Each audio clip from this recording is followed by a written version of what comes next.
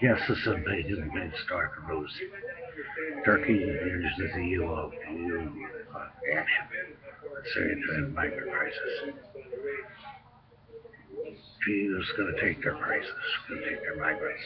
They're laying on the beach, sleeping on the beach. It's hard to find centers for these people. Hard to find centers for all these people in massive. They're talking four million. Four million migrants. Syria's a mess. Syria's a mess. People just want to get out of there. They don't want to go anywhere again.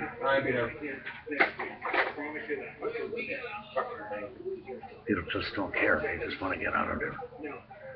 And these countries are getting overloaded like Syria, uh, Syria, like Turkey and Hungary and other places are getting overloaded with migrants. They just don't have no place to put them. They're doing the best they can.